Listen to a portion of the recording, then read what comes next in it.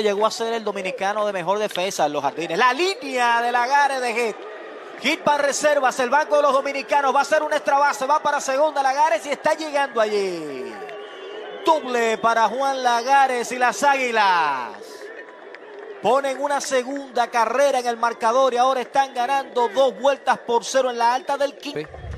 Rueta viene a buscar con la grúa seguramente. Qué bateador. Sí, señor. Y todo el crédito a Juan, lo hablábamos antes, ya lo comenté, me encanta este bateador en momentos cruciales como este. Así que remolca una más para las Águilas que ahora ponen el juego.